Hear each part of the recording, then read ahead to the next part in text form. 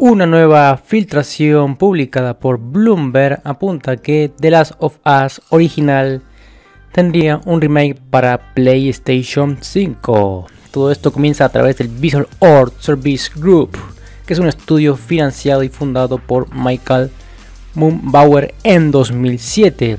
Es un equipo que fue establecido en San Diego y que forma parte de otros proyectos de Sony. Como ya saben, el año pasado recibimos The Last of Us Parte 2, la secuela de una de las entregas más queridas por la comunidad de videojuegos, ya que fue la hora de Naughty Dog, la que cautivó a aficionados de todo el mundo, rememorando al éxito conseguido en 2013.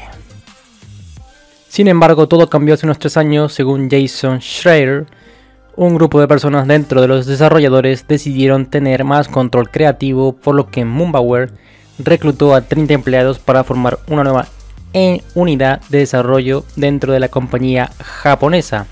La idea era ampliar algunas de las franquicias más exitosas de la marca, por lo que comenzaron trabajando en una versión de la historia de Ellie y Joel para la nueva generación. Sin embargo, tal y como apunta el medio, Sony no reconoció por completo su existencia ni le brindó el apoyo necesario para financiarse. Uy, Sony, otra vez más. Así que tras consultar a diversas fuentes, Bloomberg asegura que Sony traspasó el proyecto de remake del The Last of Us a los creadores originales que es Naughty Dog. Así que varias personas cercanas al desarrollo confirmaron a la publicación que el equipo se ha disuelto en gran medida. De hecho, el propio Moonbauer abandonó la disciplina de Sony el pasado mes de diciembre.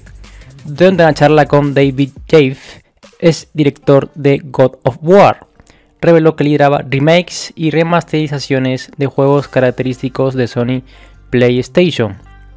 Pero Sony se ha negado a comentar acerca de esta información a Bloomberg. Así se revela que la intención de Michael Moonbauer y sus compañeros era presentar un juego que fuese bien recibido por la cúpula directiva de Sony, por ello, apostaron por no tomar riesgos y reducir los gastos creando remakes para PlayStation 5. Así que la primera idea fue rehacer el Uncharted, el primer Uncharted de 2007, pero tiempo después se desestimó rápidamente debido al coste y el trabajo adicional que fue allí en ese momento cuando la idea de The Last of Us apareció en la mesa, explica Bloom.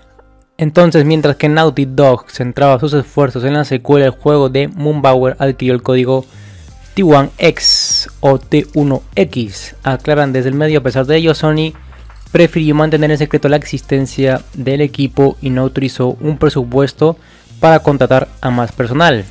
Y en la primavera del 2019 una sección de la obra había sido completada. Luego Moonbauer y sus compañeros fueron llamados para ayudar con el desarrollo de The Last of Us Parte 2, ralentizando la realización del remake. Una vez se terminó la creación de la nueva trama de Ellie, los papeles se invirtieron. Progresivamente, el personal de Naughty Dog fue tomando más poder en el remake de The Last of Us, por lo que la dinámica habitual de apoyar a otros estudios volvió a aparecer en Visual Art Service Group, y ahora el remake de The Last of Us se mantiene en las manos de The Naughty Dog con el nombre en clave de T1X. Lo cierto es que también HBO ha confirmado que va a recibir una adaptación de este juego, de esta franquicia, de The Last of Us, que muchos estamos deseando. Finalizando y dando una opinión sincera y concreta, yo diría que es una filtración bastante grande, que muchos de los jugadores pues quizá no esperaban porque ya había una remasterización para las consolas de PlayStation 4. Recuerden que este juego salió en PlayStation 3.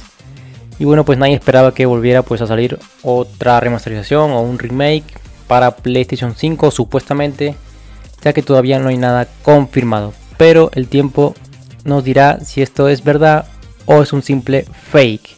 Así que ahora quiero saber tu opinión, déjame en los comentarios qué te parece todas estas noticias, esta filtración sobre el nuevo posible remake de The Last of Us para PlayStation 5. Sin nada más que decir, nos vemos en el próximo video.